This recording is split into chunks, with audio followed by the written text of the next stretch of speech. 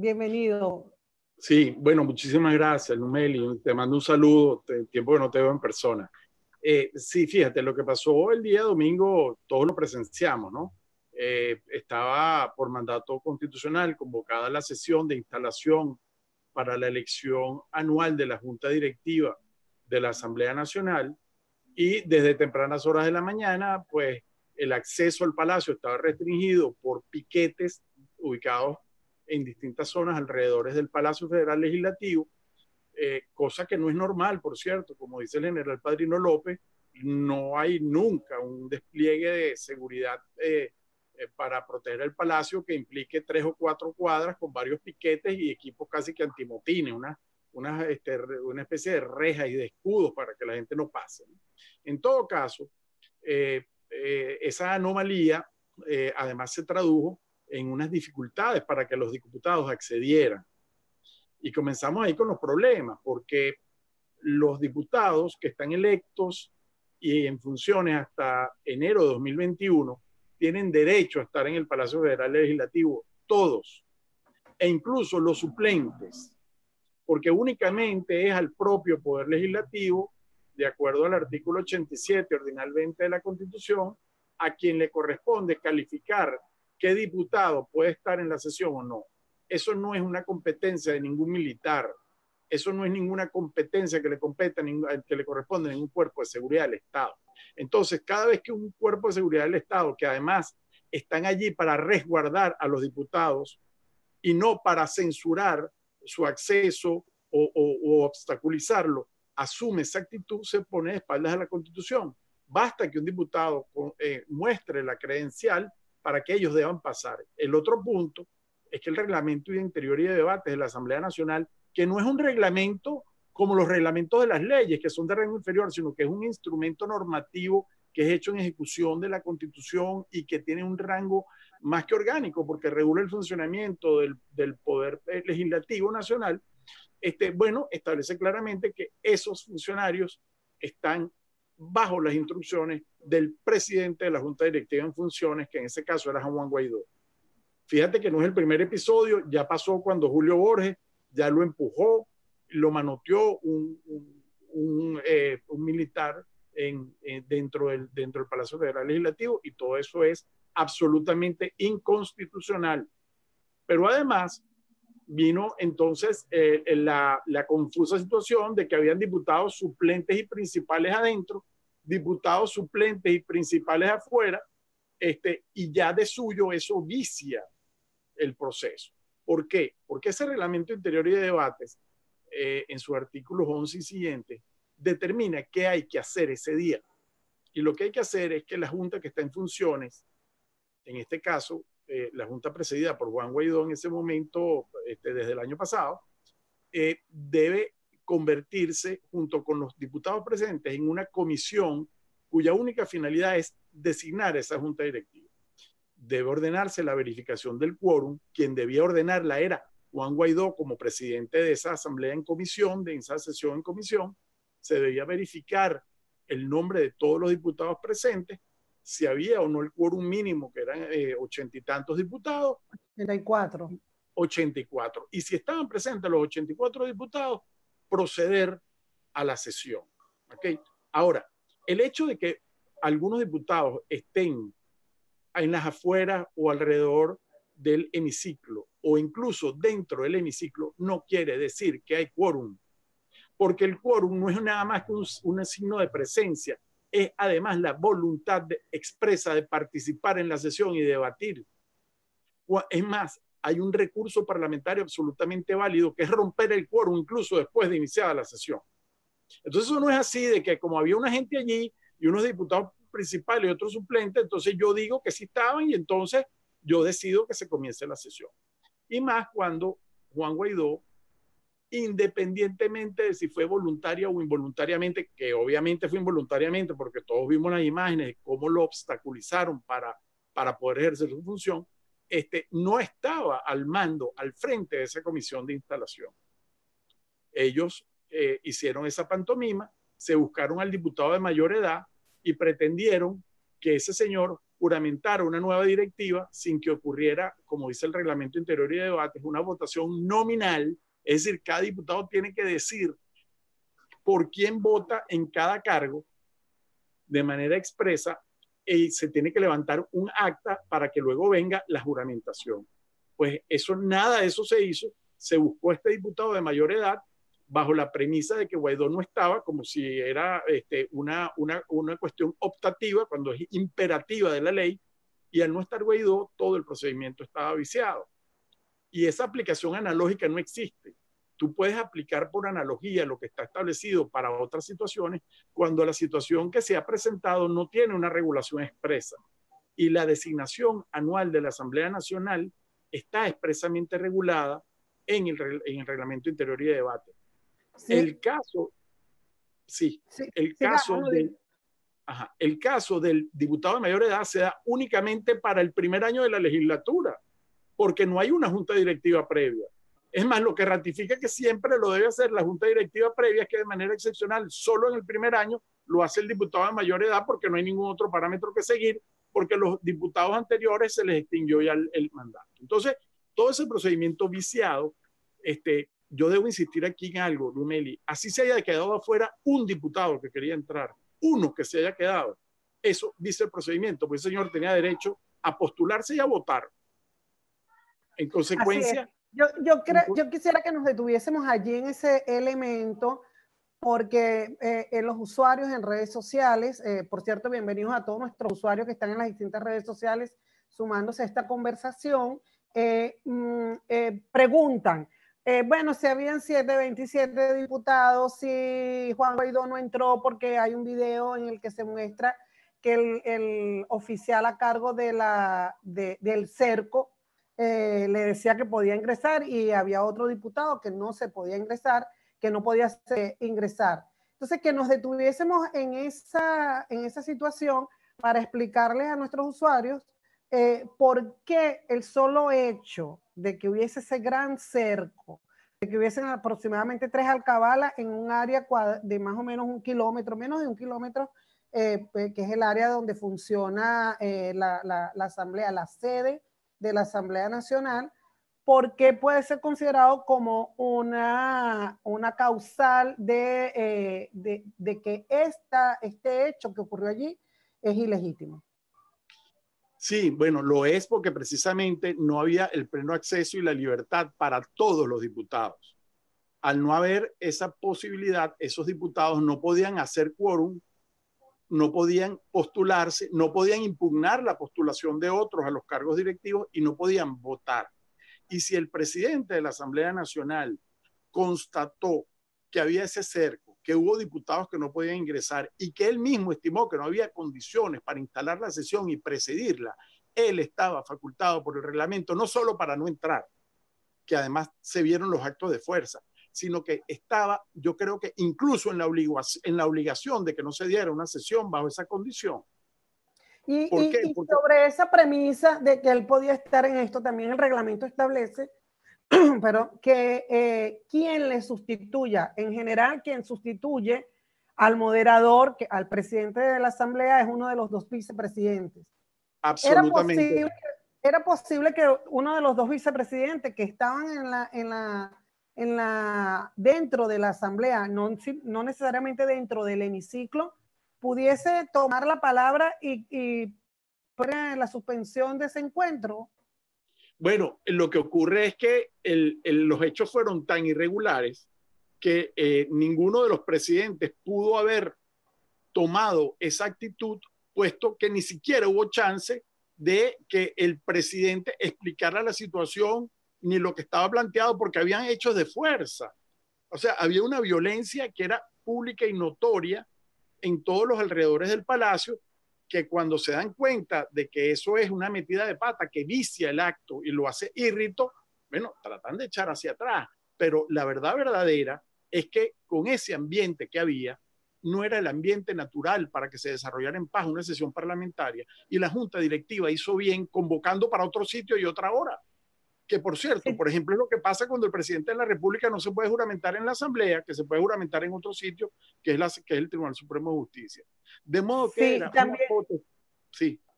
Juan, eh, discúlpeme, que también es importante informar a los usuarios que ese propio reglamento que tiene el cuerpo para su funcionamiento establece que eh, la asamblea eh, puede activarse en cualquier otra sede, puede sesionar en cualquier otra sede, como ha pasado en otras ocasiones. Seguro, seguro. Lo dice el primer artículo que, que del Reglamento Interior y Debates, que la sede de la Asamblea Nacional es el Palacio Federal del Legislativo, pero puede sesionar en cualquier otro sitio. Recordemos el famoso parlamentarismo de calle que Chávez hizo con tanto, a tambor batiente, ¿no? Por todas partes. Pero es que además eh, hay algo muy, muy, muy interesante en esto. Hay una norma del reglamento, el artículo 27, que faculta al presidente para que él determine sesionar en otro sitio. Entonces, ¿qué fue lo que realmente ocurre? Que ante ese ambiente, el presidente de la Asamblea Nacional, además con la situación que estaba planteada, no entra a la sesión, hay diputados que se, fueran, que se quedan fuera de la sesión, no hay un procedimiento de verificación de quórum, no hay votación nominal, no hay eh, eh, la firma del acta, ni, ni se puede constatar todos los requisitos, se pueden constatar todos los requisitos de ley para una designación válida, no le toma el juramento a esa, a esa supuesta directiva el, presidente de la Asamblea en, en funciones y en consecuencia eso deriva en el hecho de que no hubo sesión ni hubo mucho menos designación de una junta directiva. Ok, volvamos a un punto, eh, eh, porque eh, quisiera que esto fuera así como muy pedagógico para todas las personas que nos están viendo. ya estamos dentro, en ese momento ya estamos dentro del hemiciclo y se produce esta, este acto que uno de los voceros del chavismo decía, por analogía, es decir, que tomando en cuenta lo establecido en ese reglamento para el inicio del año constitucional, que es que eh, se, se genera una comisión accidental eh, encabezada por el diputado de mayor edad, eh, se procede a tomar juramento. Expliquemos un poco eso que fue lo que sucedió allí.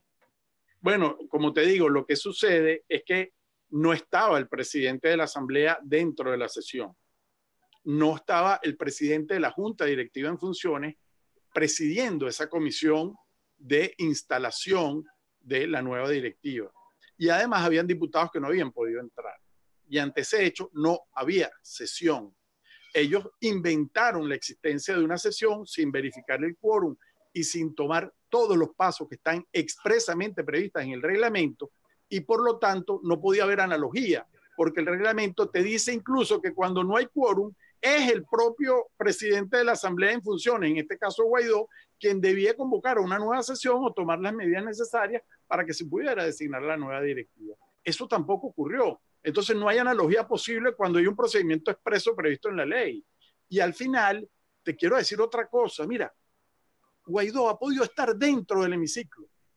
Todos los diputados han podido estar dentro del hemiciclo y se iban y rompían el quórum y había que convocar una nueva sesión, porque lo dice el artículo 12 expresamente del reglamento interior y de debate.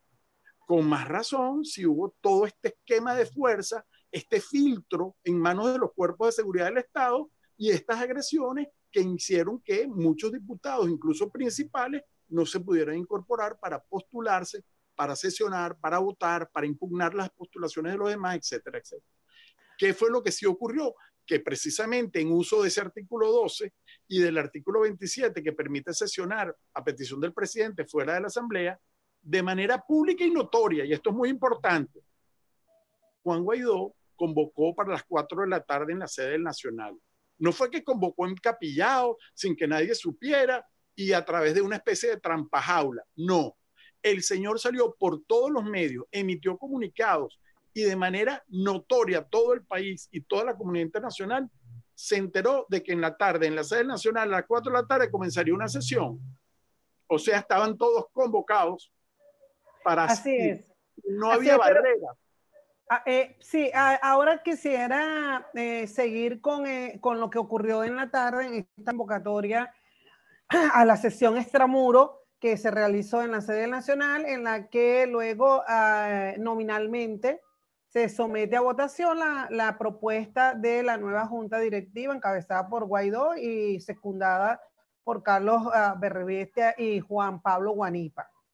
Aquí se produce también algo que le llama la atención a los ah, usuarios eh, de, efecto cocuyo y que también ha sido utilizado por, voceros del gobierno, que es que eh, de esas 100 personas, eh, entiendo, 88 eran diputados principales, 12 eran diputados suplentes, ya haya sido de los diputados que están inhabilitados y fuera del país por distintas razones y persecuciones, como incluso de los diputados que en la mañana, entre ellos el diputado Conrado Pérez y el diputado, uno de los diputados de apellido Superlano, habían votado a favor de eh, Parra.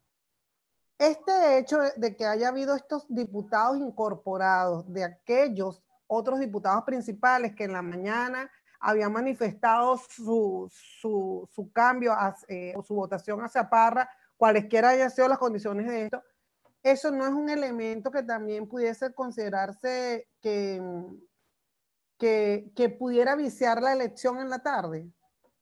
Absolutamente no, por dos razones. Primero, que 88 diputados hacían quórum. No, no hacían falta 100. Y si habían 88, había quórum. Y con esos diputados se podía elegir, como efecto se eligió, la junta directiva en una sesión válida. Pero es que además, reitero, lo de la mañana no fue una sesión, y menos aún una sesión que fuera capaz de cumplir con los requisitos y extremos del reglamento interior de debates para designar a la Junta Directiva de la Asamblea Nacional. Es decir, al no haber sesión en la mañana, lo que hubo fue una sola sesión en la tarde. Y cuando los diputados que estaban en la mañana no asisten a la sesión de la tarde, habilitan a sus suplentes para estar y votar por ellos. Y eso fue lo que ocurrió.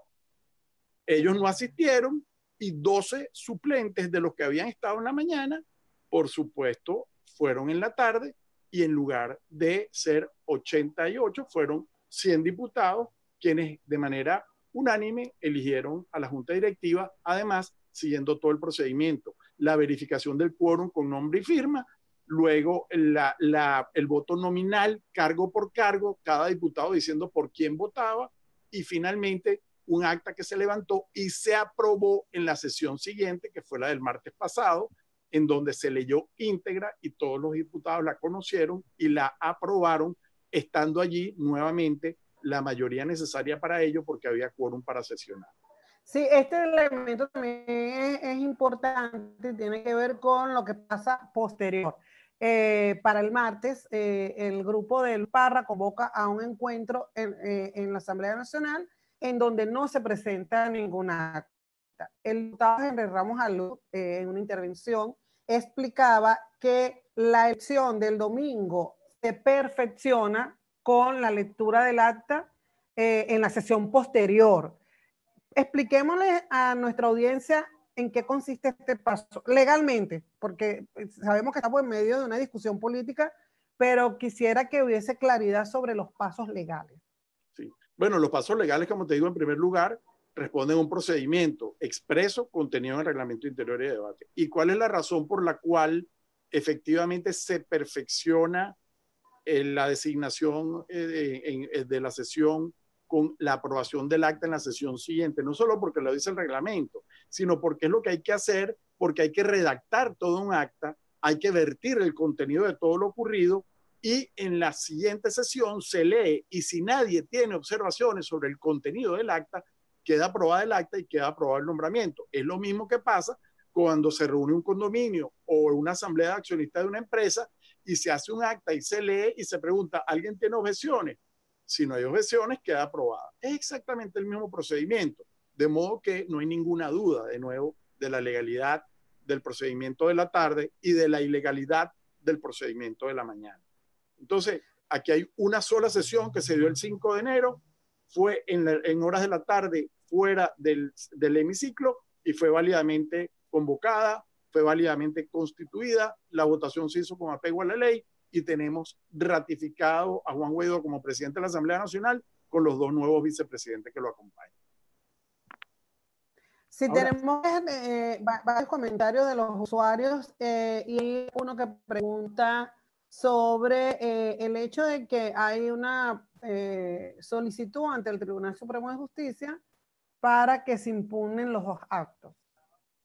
Bueno, mira, este, fíjate, el, el Tribunal Supremo de Justicia, yo creo que no tiene materia sobre la cual decidir, porque ellos ya resolvieron en base a su absurdo criterio en relación a un supuesto desacato colectivo que ningún acto presente o futuro de esta Asamblea Nacional es válido. Entonces, para ellos, ya de acuerdo a sus propios fallos, no fue válida ni la de la mañana ni la de la tarde.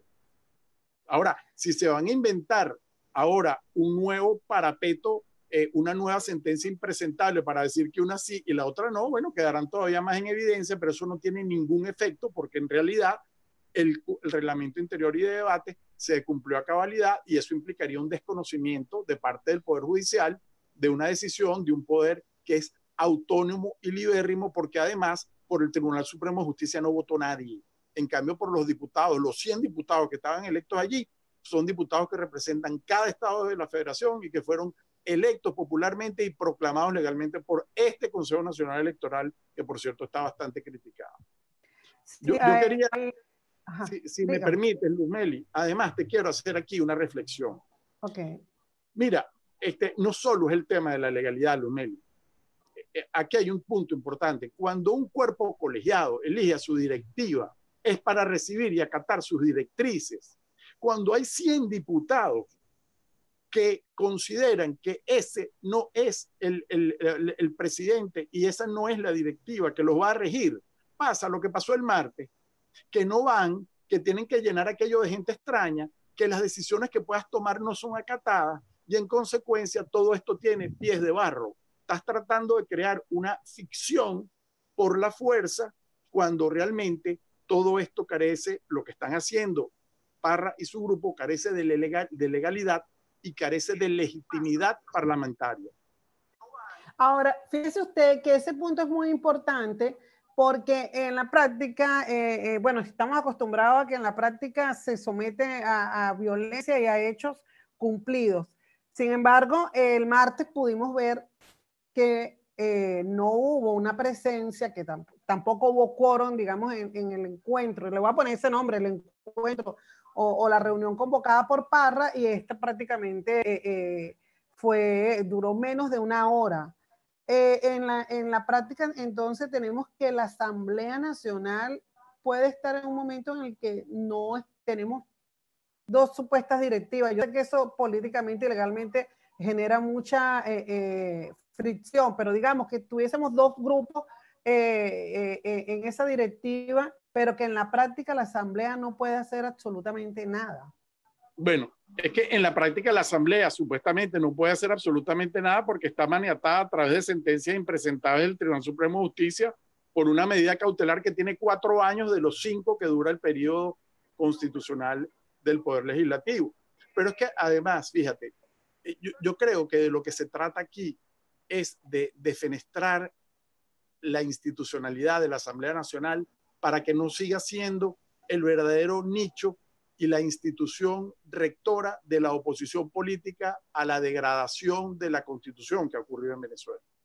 Porque aquí lo que se está tratando no es de adquirir el liderazgo de la Asamblea Nacional con fines realmente renovadores, se trata de evitar que la oposición que en el 2015 obtuvo mayoría calificada para que esa Asamblea Nacional integrada por ellos controle a la administración pública y legisle, bueno, no ejerza sus funciones porque en Venezuela el régimen, de acuerdo a la constitución, el régimen de gobierno es presidencial con sujeción parlamentaria. Por eso que el presidente seguramente en la asamblea le rinde cuentas a la asamblea, tiene que pedirle permiso para aprobar el presupuesto a la asamblea y bueno, aquí crearon a través de, de ese otro fraude constitucional una constituyente usurpadora y a través del Tribunal Supremo de Justicia han hecho lo que les dé la gana. Pero la verdad es que esto es un movimiento político y lo más probable es que querían la formalidad de tener una Asamblea Nacional que aprobara probablemente una serie de contratos de interés nacional, un endeudamiento o un refinanciamiento de deuda, contenedores de bonos, etcétera, porque el país está en la carra plana. Y lo que estamos viendo, y lo vimos en diciembre, es cómo el dólar pegó un brinco, la hiperinflación sigue y la capacidad de producción petrolera sigue en el orden de los 600 y tantos mil barriles o 700 mil barriles, que es muy insuficiente para poder lograr llevar el país adelante. Por eso que nos han reducido a la capital de Venezuela con servicios públicos intermitentes y con una economía mínima. Entonces, para lograr dinero fresco, y creo que el diputado Ángel Alvarado lo decía, se hicieron de esta idea de poder controlar formalmente esa asamblea, esa botella vacía, pero que la necesitan mucho para llenar sus arcas, y bueno, cometieron este, este desparpajo, esta, esta tropelía que terminó pues siendo para ellos eh, la peor opción.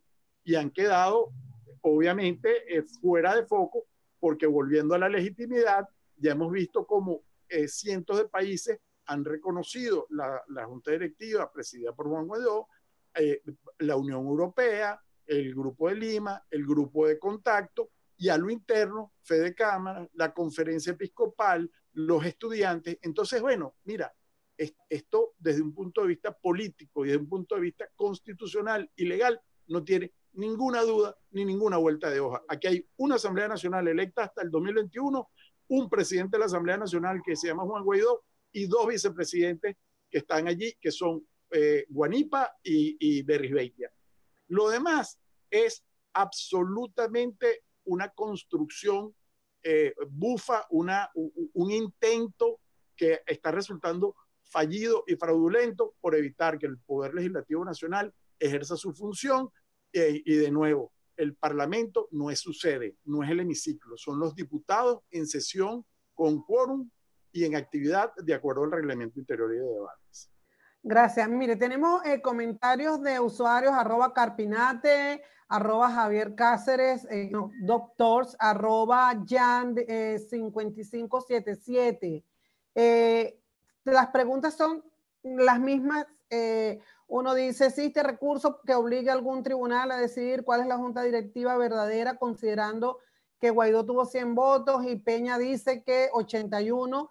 Eh, luego hay otro que dice, se puede impugnar lo sucedido el domingo en la mañana debido a los vicios. Otro le responde, esto es parte de la dinámica y, lo estoy comentando por eso, eh, Juan, porque la gente sigue como, como entre confundida y también afectada por el componente político de la explicación que se da, ¿no? Y hay otro usuario que dice, se va a impugnar lo que no es legal.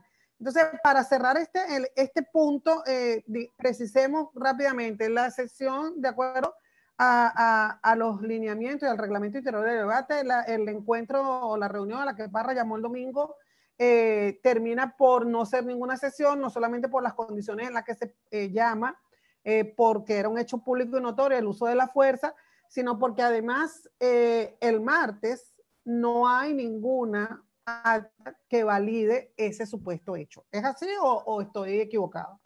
Absolutamente, entre muchas otras cosas, es así, es decir, eso es lo fundamental. Ahora, lo que se pregunten es que si hay posibilidades de impugnar, ¿Qué más quisiéramos? El problema es que no tenemos poder judicial. El problema es que el control de la constitucionalidad que debería ejercer el Tribunal Supremo de Justicia no se ejerce porque el Tribunal Supremo de Justicia es capaz de decidir en 24 horas cualquier cosa que le pida el gobierno.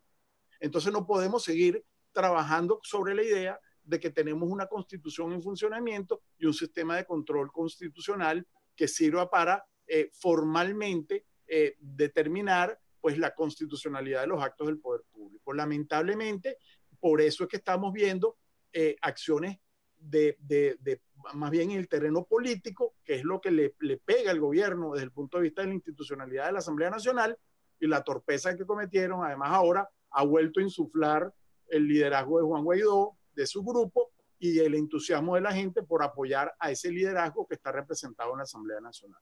Me gustaría entonces eh, ahora detenernos en ese punto y es ver lo siguiente. La Asamblea Nacional eh, es un foro que escogimos todos los venezolanos que participamos como votantes en la elección del 2015. Hubo 14 millones de votos. Eh, se presenta toda esta situación. Ahora, ¿qué pueden hacer los ciudadanos para defender? e, e incluso lo digo con, con los diputados que hayan sido escogidos por el chavismo, para defender la institucionalidad de ese foro escogido en marzo, en, en diciembre del 2015? Bueno, en el terreno legal interno, como te digo, nada, porque el Poder Judicial lamentablemente no está cumpliendo su función de controlar la constitucionalidad y de poner en su sitio las cosas de acuerdo al texto de la Constitución y de la ley.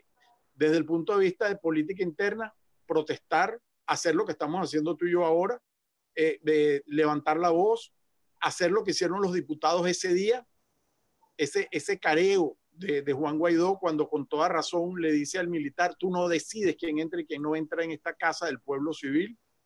Eso es lo que hay que hacer. Y luego combinar o, o, o, tratar de vincular este tipo de acciones con toda la movilización a nivel internacional para que se activen una serie de mecanismos, como por ejemplo las cláusulas de los acuerdos y tratados internacionales que requieren unos estándares democráticos mínimos, la posibilidad de que los endeudamientos solo se den, por ejemplo, cuando los contratos de interés nacional son aprobados por la República, por la República y todo lo que en definitiva está implicando fuera del país el hecho de que la Asamblea Nacional esté desconocida por el régimen de Nicolás Maduro. ¿Qué se van a inventar? Yo no sé si van a intervenir la Asamblea, si van a tratar de disolverla, van a terminar de poner presos a los diputados en bloque, eh, va, van a utilizar la Asamblea Nacional Constituyente chimba, mm, ilegítima y, y, cuya función nunca ha sido la que ha desempeñado durante todos estos años, sino redactar una constitución. No lo sé, pero al final del camino, cada cosa que hagan es como la arena movediza, los hunde más en la inconstitucionalidad de su proceder, en la falta de reconocimiento a los estados, a, los estándares democráticos y sobre todo a la voluntad del pueblo, porque todos esos diputados, Luz Meli, que están perseguidos, que están exilados, que están asilados o que están presos, son representantes del pueblo. Venezuela es una federación, es un estado federal descentralizado y cada estado de la federación designó a sus representantes y esos representantes tienen el derecho de sesionar como parlamento para legislar y para controlar al Poder Ejecutivo.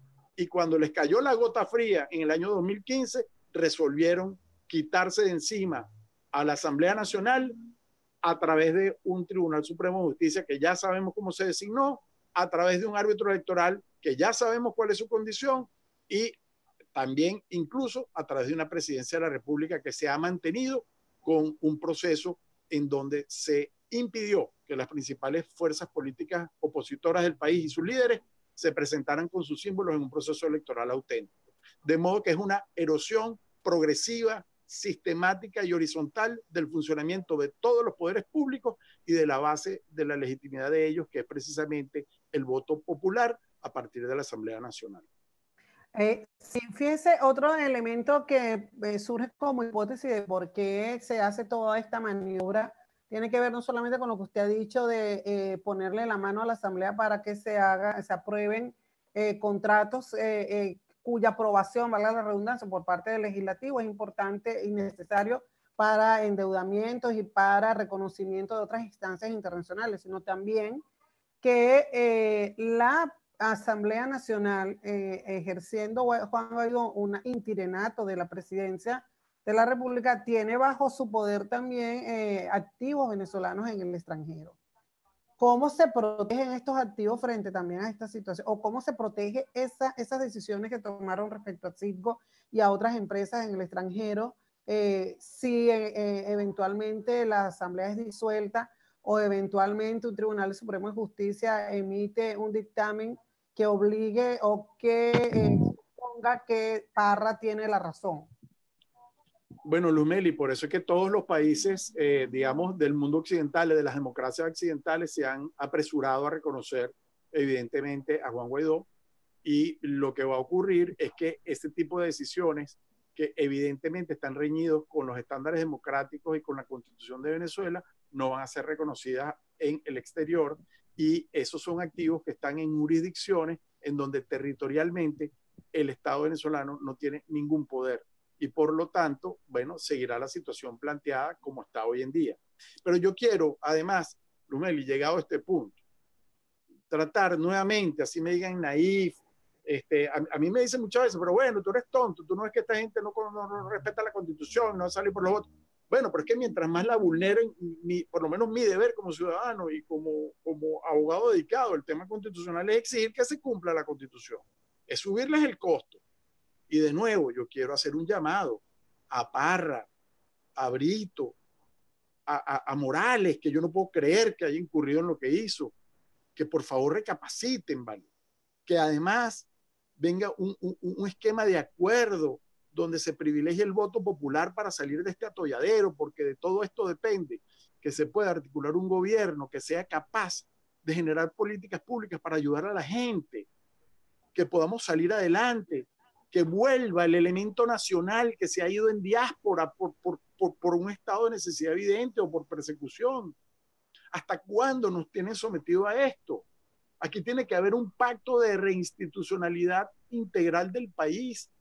Tiene que haber un proceso basado en la soberanía popular y en el voto para recomponer de nuevo todos los poderes públicos y que el Estado vuelva a ser un Estado basado en la democracia constitucional y un Estado que cumpla sus fines esenciales de acuerdo a la Constitución, que es generar bienestar, tolerancia, paz y, bueno, una vida que sea útil y una vida que sea, eh, digamos, eh, eh, aceptable para para cualquier ciudadano que trabaja y que aspira a vivir en libertad. Sí, eh, gracias por esa reflexión. Eh, para cerrar, fíjense que eh, la Asamblea convoca al ministro Padrino para que dé explicaciones. Hay gente que dice que en la dictadura no se dan explicaciones, pero la reflexión que también se hace es que aunque haya funcionarios que no la quieran dar, los demócratas tenemos que exigirla. Y creo que también es, importante ver que independientemente de, de, digamos, este monstruo, este laberinto en el que nos hemos metido desde que se empieza a desconocer la voluntad popular en el propio 2015, cuando no se reconoce, por ejemplo, la elección de los cuatro diputados de, del Amazonas y se manda a hacer la desincorporación de, de estos diputados, bueno, hemos ido caminando de ahí en adelante a unos esquemas eh, prácticamente inconcebibles. O sea, eh, eh, eso también es importante que lo veamos y, que no haya esta justificación, esta explicación sobre algo que no solo no es democrático, sino que es que no permite que realmente haya un funcionamiento y un Estado de Derecho. Pero es que además se ha llegado a un estado tal de, en lo grotesco y en lo burdo de los procederes, Lumeli, que se ha convertido en algo irracional. Y yo más bien lo que invito es a todas estas personas a, este, a, en definitiva, oye, pensar en su futuro, porque todos estos actos van a generar responsabilidades futuras. O sea, tú no puedes hacer lo que está haciendo Parra y lo que están haciendo los demás eh, eh, personajes que lo están acompañando en este intento por asumir eh, la dirección de la Asamblea Nacional de esa manera, pretendiendo que aquí no va a haber responsabilidades futuras. Entonces, lo que tienen que hacer más bien es entrar todos en una fase de reflexión y tratar de llevar al país, como te digo, por el restablecimiento pleno de la constitución y además que se imponga la soberanía popular. Bueno, eso no lo va a hacer el chavismo. Pues chavismo no habla todo, todo, todo el tiempo y es lo que cruza transversal y horizontalmente la constitución, el tema de la, democracia protagónica del pueblo. ¿Por qué no le dan el protagonismo al pueblo y dejen que voten limpiamente? ¿Por qué entonces eh, se, se, recurren a estas vías autoritarias y totalitarias y se le entrega y se le regala el país además a otras potencias? ¿O es que no es un imperialismo hacer lo que se está haciendo con el petróleo y con el arco minero y con, todas, y, y con, con, todos los, los recursos que tiene Venezuela? Bueno, todo eso. ¿Usted cree, disculpe, ya va, disculpe un momentico eh, eh, que quisiera eh, precisar lo siguiente. ¿Usted cree que existe, bueno, ellos son de, estuvieron en la oposición durante todos esos años, ¿existe alguna disposición de, de Parra, de Brito, de Morales, de Noruega, de, de reflexionar sobre el desempeño que han tenido? Mira, yo no lo sé. Si yo fuera ellos, lo haría, porque es que las cosas han sido tan mal hechas. Bueno, y las caras, la cara de Brito era un poema cuando entró la directiva de la asamblea allí. La forma en que salieron del parlamento se veía así. Y además, ellos no vayan a creer que son vistos del lado de quienes están ejerciendo en el poder como unas moneditas de oro. Siempre los vieron como opositores y los tildaron de corrupto y todo lo demás. Entonces, yo no sé si hoy, si mañana o dentro de una semana pero mira, yo creo que ellos están a tiempo de tratar de dar un viraje y decir, mire, nosotros le ponemos nuestra actitud, asumimos y entendemos que el proceso eh, estuvo lleno de irregularidades y nosotros simple y llanamente también reconocemos la junta directiva designada en la sesión de la tarde el día 5 de enero. Eh, con eso bastaría. Sí, y bueno, es una, es una opción, ¿no? Porque, porque la, la, la discusión que hay ahora también es si se escala el conflicto en términos de, de lo que le conviene al oficialismo, que es prácticamente dejar inmovilizada a la Asamblea Nacional, recurrir al Tribunal Supremo de Justicia para que tome una decisión que pueda incluso disolverla, seguir que haya presiones para tratar de que diputados eh, eh, que están, que apoyan a, Juan Guaidó y que tienen una línea de oposición se sumen a, a la fila de, de, Parra y Brito, o en este caso, la, la digamos, eh, el guante o el puente que se le puede lanzar del otro lado es este que usted está planteando. ¿Usted sabe si este tipo de cosas se ha discutido eh, internamente en, los grupos de oposición? Bueno, es decir, por supuesto yo no participo directamente en, ese nivel de decisiones de, la oposición política estructurada y de los partidos, el E4, nada de esto. Pero yo sí creo que es, este, la, la, herida todavía está sangrando, ¿no? O sea, yo creo que es demasiado pronto probablemente. Pero yo creo que en la medida también que más países y más instituciones de la, y fuerzas vivas del país a lo interno reconozcan eh, pues la junta directiva que, que, legal y legítimamente se designó y mientras peor se hagan las cosas del otro lado, bueno, más chance habrá de que haya esa especie de, eh, digamos, de posibilidad de, de, de recapacitar y de reflexionar y de corregir esto que sin duda alguna ha sido un error. Ahora, si aquí hay unos intereses materiales atrás, como mucha gente dice, por supuesto que eso va a dificultar mucho más porque entonces eres preso de tu propio preso, de precio. Es decir, el, el, el haber, si tú realmente llegaste a, a aceptar prebendas económicas para, para tener un proceder determinado, pues y no lo hace, eso te lo van a cobrar. En consecuencia, eso es el otro obstáculo. Pero yo creo que cuando se está del lado de la razón, se está del lado de la Constitución y se está al lado, y esto es muy importante, de la opinión pública nacional e internacional, tú tienes un sistema de protecciones que te podría llevar a replantearte tus errores y tratar de proceder de otra manera. Ahora, lo que vamos a ver, sin lugar a duda, va a seguir siendo una pugnacidad política que para nada nos ayuda, vivezas que terminan siendo estupideces para tratar de elegir un nuevo parlamento probablemente a destiento o, o con otro árbitro electoral y creo que lo importante, lo sensato es que ese proceso electoral parlamentario se lleve a cabo a final de año, como lo ha dicho nuestra historia republicana electoral desde que Venezuela es un país democrático y que eh, básicamente se haga con un árbitro que sea aceptado por todas las partes y bastante se avanzó en ese sentido en Dominicana y en el esfuerzo con el Reino de Noruega para que ellos ahora hayan, bueno, virado hacia la posibilidad de, de, tomar este, otra vez eh, un poder público por una vía electoral eh, que no es auténtica, que no se adapta a los estándares internacionales y que simple y llanamente no, no termina por producir el resultado que produce una elección. Porque sabes el resultado de la elección cuál es, no es quién gana ni quién pierde, sino que se produce un, un reconocimiento para quien, va a ejercer el poder sea aceptado por todo el mundo y unos se dedicarán a hacerle oposición y los otros a apoyarlo. Pero cuando el efecto legitimador del proceso electoral no se da, sobre todo porque está viciado y el árbitro no es confiable, ese efecto legitimador no se produce y por eso es que estamos desde octubre del año pasado y muy concretamente, perdón, desde enero del, del 2018 en una situación en donde el país, gracias a Dios, se levantó y no aceptó eso, como no ha aceptado esta tropelía del domingo pasado. Bueno, la conversación ha sido bien interesante, estoy muy agradecida de, de, eh, de esta conversación, pero en Internet tampoco es que el tiempo es infinito. Eh, Juan, muchas gracias. Eh, gracias a, a ti, Muchas gracias por haberse conectado. Vamos a seguir eh, eh, teniendo encuentros y entrevistas eh, con sus preguntas, con personas que puedan ah, ofrecer algo de luz sobre lo que ocurre en Venezuela, no solamente en términos legales, sino en términos de opciones para solucionar el conflicto. Muchas gracias. Muchas gracias un saludo a todos los que participaron en, en, esta, en esta entrevista. Muchas gracias de nuevo. Chao. Chao.